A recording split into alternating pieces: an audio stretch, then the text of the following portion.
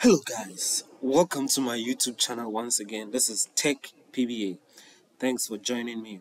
So in this video tutorial, I'm going to take you through how to turn Outlook new message alerts pop-up on and off. So usually when you receive an email, you would see you would get a pop-up on the bottom right hand side prompting you that you have an, a new email so I'm, I'm, I'm actually using the Outlook for Microsoft 365. It works with Outlook for Outlook 2021, 2019, 2016, and 2013. So the first thing I'll do is to click on File, and then after clicking on File, I will select Options. Then once the Options window opens, I will click on Mail then once I click on mail the option we are going to look at is the message arrival options. So we have play a sound. When you get an email um, briefly change the mouse pointer show an envelope icon in the taskbar and then display a desktop alert.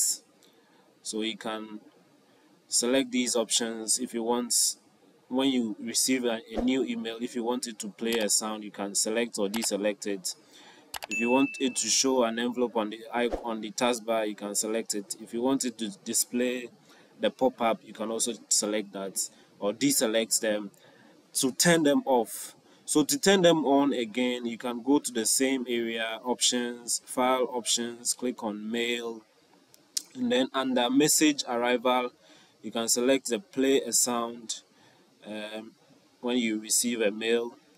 Um, click on or select the show an envelope icon in the taskbar. I will show you this one later. And then display a desktop alert. That, that is what we are actually looking at in this video.